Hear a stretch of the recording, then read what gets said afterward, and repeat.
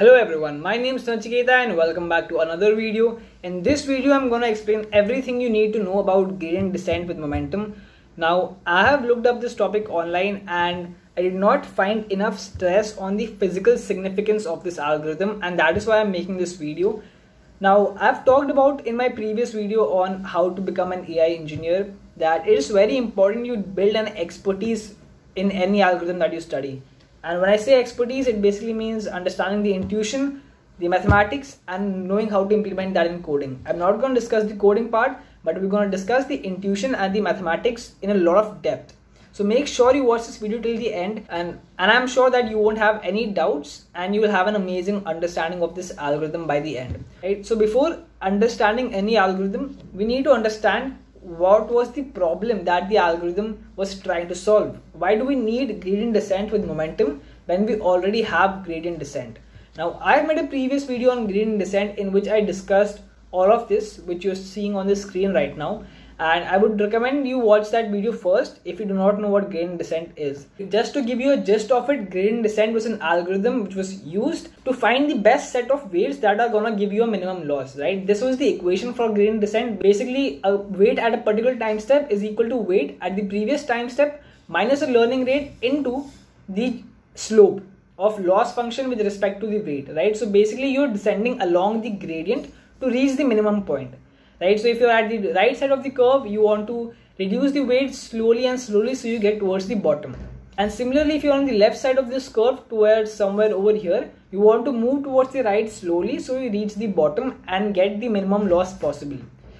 So what is the problem with this? Let me show you what problems could come up right? And that is how we'll get and that is how we can get started with gradient descent with momentum. You saw a loss uh, with respect to weights curve like this. Let's imagine if the curve looks something like this, right?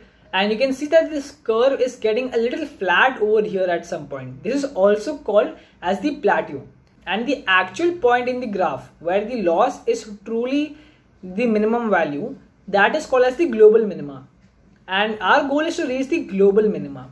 Now let's see what the problem can come up when we're using gradient descent. In gradient descent, let's say we start at somewhere towards the right hand side and we're taking steps to come down.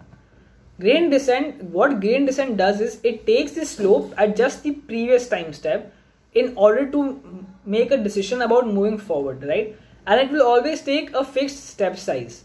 So as it comes down, let's say it reaches somewhere over here where the plateau is. At this, at, at this point, the slope is zero. So the model will get fooled into thinking that, hey, I have reached the global minima and we have got the perfect loss. However, this is not the case, right? We can see we still have to move forward a lot of steps before we reach the global minima. What could we have done here to avoid this issue? That is where momentum comes in. In physics, momentum is equal to mass into velocity, right? Physically, when you're descending down a slope, right? If a car is coming down a slope, you say that it's gathering more momentum. What you would want is that you would want the algorithm to understand that, hey, since I'm descending so fast over here, since the slope was so high just in the previous time steps, it is not possible that I could have reached the minima so soon. So let's just keep going, right? That is one way to understand why momentum could play a role. Basically see that since you're descending so fast, you would want to keep going. The second way to understand another problem is that once I'm at the top of this curve, I would want to take bigger steps, right? Because I can see if I'm standing over here, the minima is a very far away, right? So I would ideally want to take bigger and bigger steps, right? Because the slope is decreasing very fast, right? So I also want to keep moving fast once I reach towards the bottom, right, I can see that the slope is getting flattened. Or we can say that if a car is coming down, its momentum is going to reduce. So as the momentum reduces, I would want to take smaller steps, right? So I'll take smaller steps like this so that I slowly converge at the minima. So in a way, I'm varying how fast and how slow I come down based on my previous momentum. That is what this algorithm is doing. If you understood this, you have understood why we need momentum. Let me show you what the equation is and now it's just gonna seem very basic because you've understood what the model is really trying to do. Initially we had an equation like this, right? That we take the previous weight, subtract it by the learning rate multiplied by just the previous slope, just the previous uh, gradient. Now what we're gonna be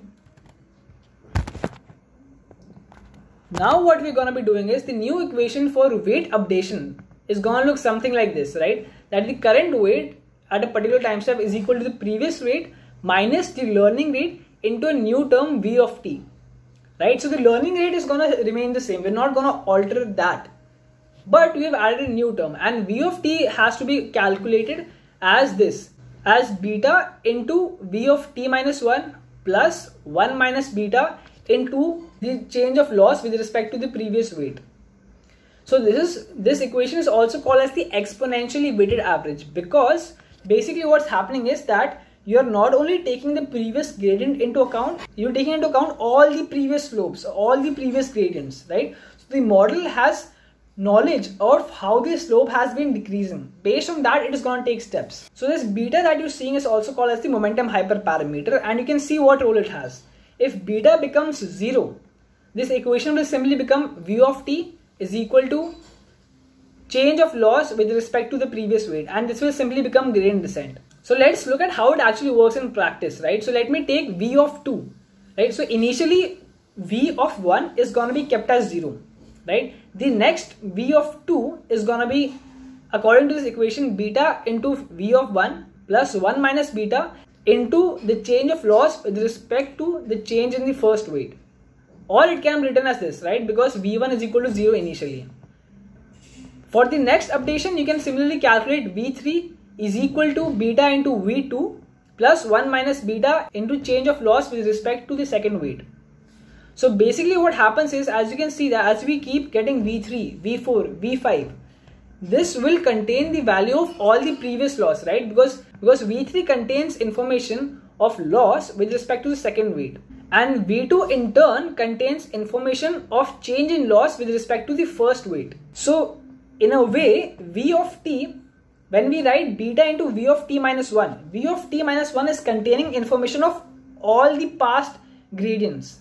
So if beta is a high value, if it's 0.9, if it's 0.95, then we're giving a lot of importance to all the previous accumulated gradients and this term let's say beta is 0.9 this will become 1 minus 0.9 or basically 0.1 0.1 into the previous change in loss with respect to the previous weight basically when you choose a high value of beta you're giving more importance to the previous accumulation of weights and a little less important to the immediate past gradient right so that is what this equation does. It basically takes into account how the slope is changing.